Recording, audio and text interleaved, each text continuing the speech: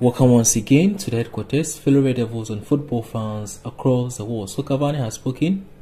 The Uruguayan is set for a summer departure, having completed his stay as a Red Devil.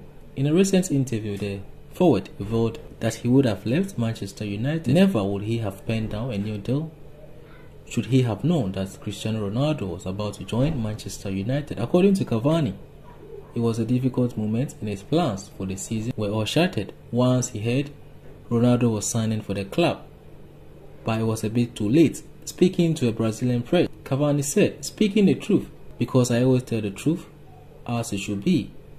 The moment it happened, I thought it was good that Manchester United signed Cristiano.